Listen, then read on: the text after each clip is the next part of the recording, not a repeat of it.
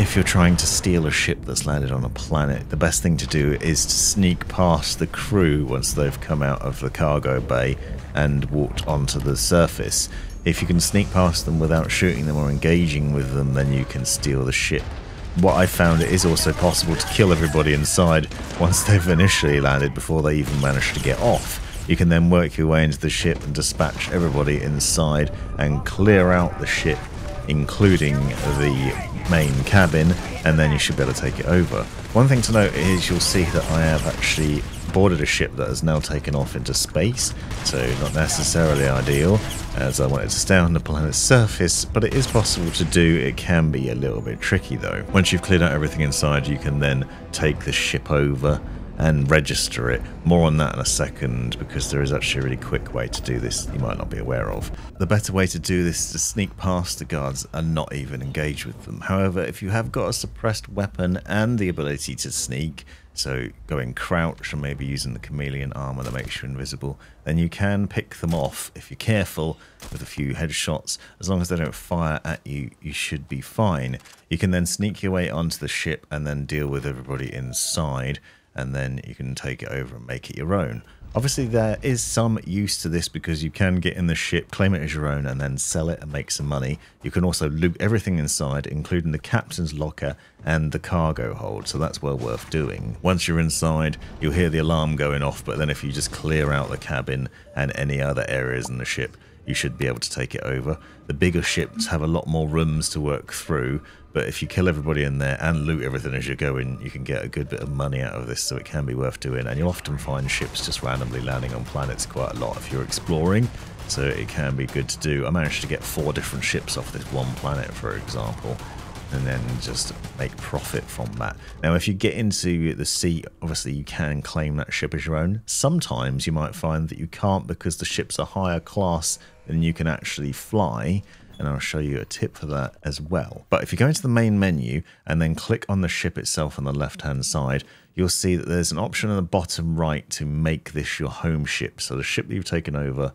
you can make it your home ship and then once you've done that, you can then register from here. So you don't actually have to go to another planet. You'll see the option then becomes to register. You will have to pay credits to do so though, so you will lose some value. Some of the skills in Starfield allow you to upgrade your ship and do other things, but some of them require you destroying various different ships. You can see here I've got to destroy 30 ships to unlock this piloting skill this can be pretty tricky, but you'll see there are others in the science menu, for example, this one that gives you extra point of power from a reactor. That again requires you destroying ships. This can mean that you've got them fly around, look for ships to destroy, which can be a bit of a mission and a pain because you can't guarantee that there will be some.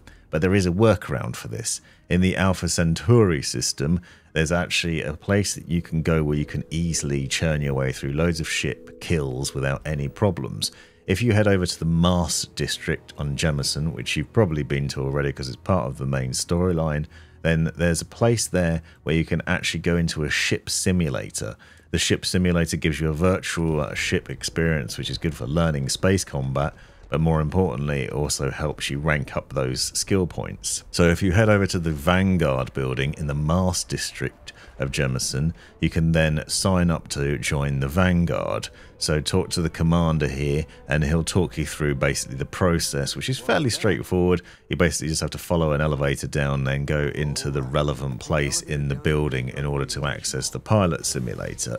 Now the pilot simulator will basically put you into a virtual simulation where you then have a ship that's different obviously from your main ship and you're fighting against various different virtual ships. The bonus of this is obviously not only is it a main quest line, but also it will allow you to rank up those skills by killing loads of ships. You can also use these debugging tools, make note of where that console is in the ship, because that will help you with some upgrades that will help you pass through this.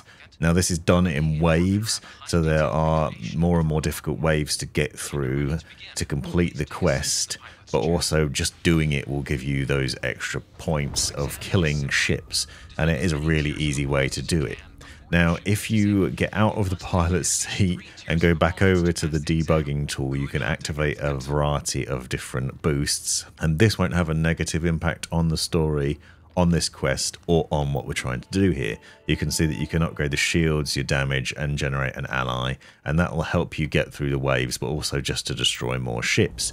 You work your way through a number of different waves in here with the enemies getting more and more difficult. Eventually they'll probably be so difficult that they will destroy you, which is obviously unfortunate, but it's not your, really your ship, it's just a virtual ship, so there's no harm to your actual ship and there's no problems. And because these are obviously waves, you don't have to go hunting in space hoping that you bump into someone that you can then fight. You can then just destroy them and keep destroying them, working your way through the waves, and eventually you'll be told that you've got sufficient levels in order to pass the quest. The important point to note here is you can exit the simulation ship or you can just carry on with those waves if you want to.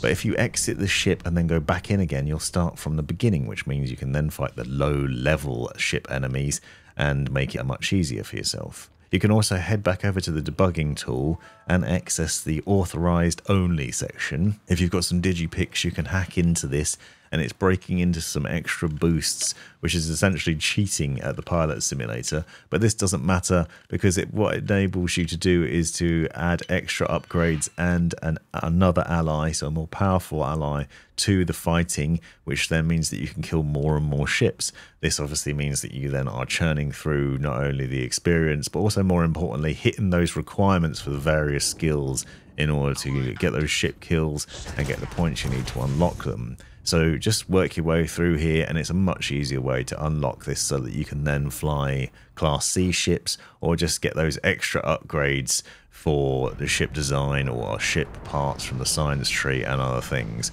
It's really simple.